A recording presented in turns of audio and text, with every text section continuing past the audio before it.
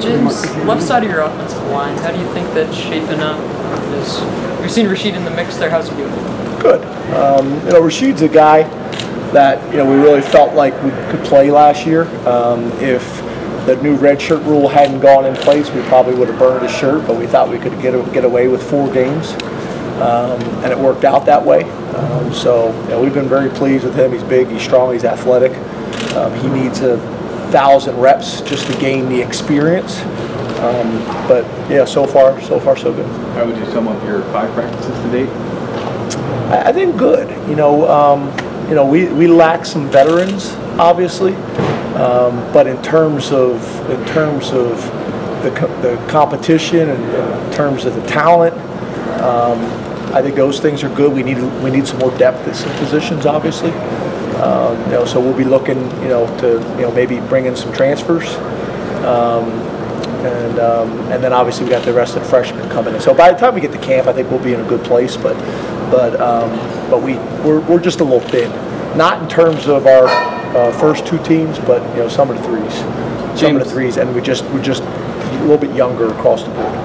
On, on that note, uh, there have been a lot of freshmen that have come in across the country and made big impacts for their teams uh, in college football over the last couple of years.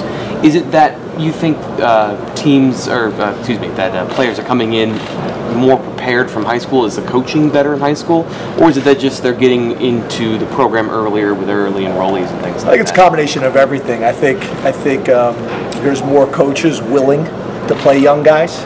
Um, that wasn't always the case in the past. There's been guys that I think could probably been ready to play, and some programs just didn't do that.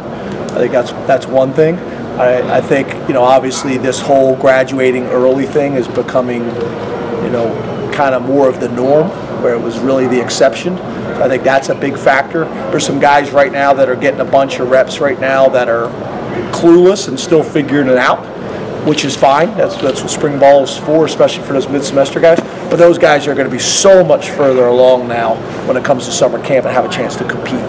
So I think that's part of it. I do think these guys um, are, are are playing the game more. Like we never had seven on seven when I was when I was in high school. Never. And the fact that these guys are doing seven on seven all off season at their high schools in tournaments, they're just playing more football. So I do think that that helps, and I think probably the style of play. You know, there's people throwing the ball around more that's similar to what people do in seven on sevens and things like that. So I think that helps. Uh, and it just seems like every year the guys seem to get a little bit bigger, a little bit stronger, and a little bit faster too. Where do you see Brandon and Lance kind of fitting into that, along those lines? Are, you, are they competing for uh, spots at this point, or are there still ways to go? I, I would say all those true freshmen, they're just so raw. I mean, they're talented, but they're raw. They're raw mentally in terms of experience. They're raw physically in terms of fundamentals. Um, things that they were able to get away with tackling high or something like that, they just they can't get away with with now. Um, I think all those mid-semester freshmen have all had that welcome to college football moment by now already. Uh, that's a humbling experience. They're not used to that um, and then they kind of battle through it. They kind of battle back. So I think by the end of spring, those guys, Lance and, and Brandon, as well as a number of guys, will have made a significant step. And then obviously all summer and camp is going to be important. And then there'll be a handful of those guys that, those freshmen that come in in summer that will, you know, be ready. But we'll see. We're so used to this year-round football. What do you think would be different about college football if you guys didn't have spring practice? Oh, I don't know. I've never even really thought about that. I mean, in high school, obviously, it's a constant argument. The states that have it compared to the, the states that don't. Um, you know, but the college football. I mean, I, I don't remember a time where we didn't have spring football. And um, I mean, you think about us. I think the last couple of years we've had like 71 and 75,000 people show up to a practice, essentially. Um, you know, spring ball is important around here. It's important for our team. It's important for our fans. It's important for the community. We get more people to show up to a practice than a lot of people get to show up to home games. Is there anything in particular you want to see from Cam Brown this spring, and what will you be counting on him to provide in fall? Yeah, you know, Cam's one of those guys. We got a pretty good idea of, of who he is and, and where he's at. I think the biggest difference right now is, is just his leadership. He's taken a real command of the team. He's taken a real command of the defense. Um, he's gotten bigger. He's gotten stronger and more physical. Um, so it's just it's that it's that steady evolution that you kind of see with him, uh, him growing and more confident. I think he's I think he's got a chance to have a really big year for us.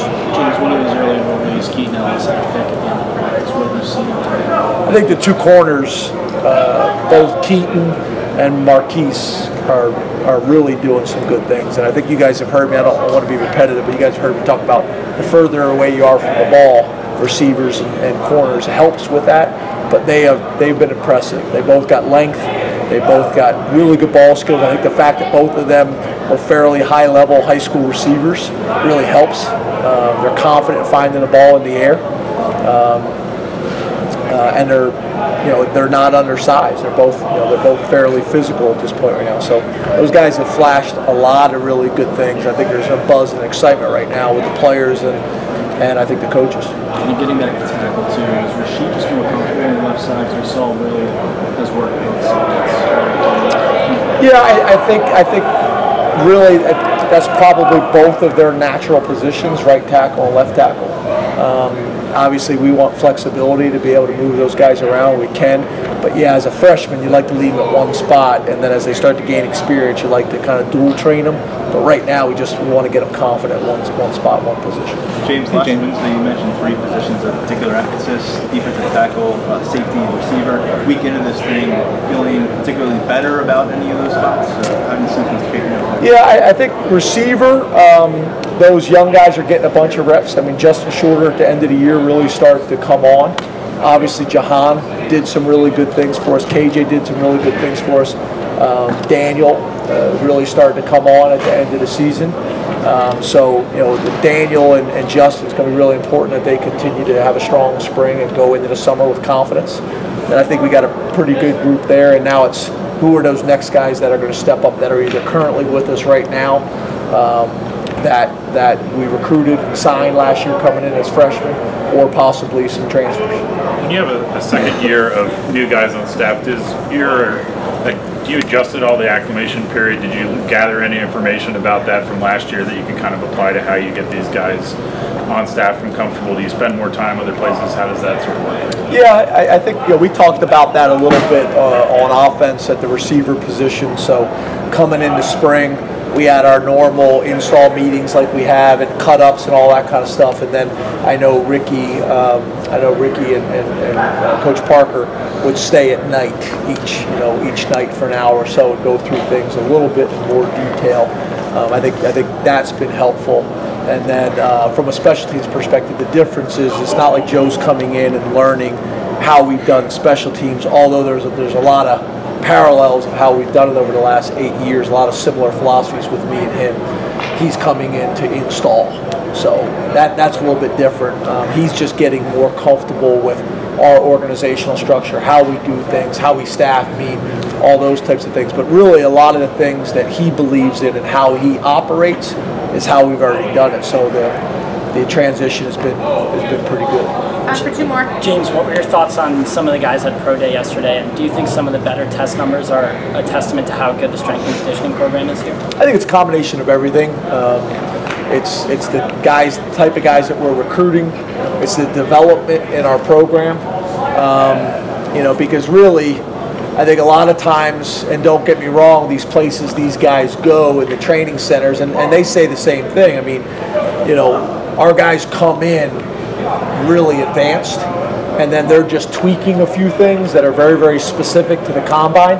Um, so I think that combination is, is really good. Uh, but if you go all the way back to Deej's time at Maryland, we've always tested extremely well. So that continues to, to be the trend.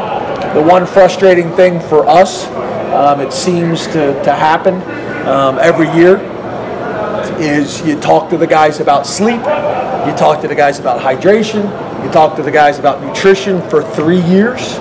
They sign with an agent. Uh, they're thinking about where they're going to get drafted, and they come back and they're like, God, I feel great. You know, I sleep eight hours a night. I'm eating better. I'm, I'm hydrating. I'm doing all these things. It's amazing. You, know, you stop uh, drinking beer. You know, it's amazing how it just how you feel. I'm like, we've been telling you that for three years. You know, And some guys, I think you guys remember Carl Nassib. Carl was really good like that that last year, and it made a huge difference for him. But it's amazing. I mean, guys came back and just you could you could tell.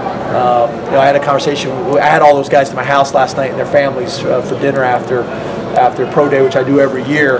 And Trace's mom was talking about how the nutrition and the hydration and the sleep, how he's been sleeping better than he slept forever. I think obviously the fact that they don't have classes helps too, but um, was just talking about how well he's sleeping by changing his diet.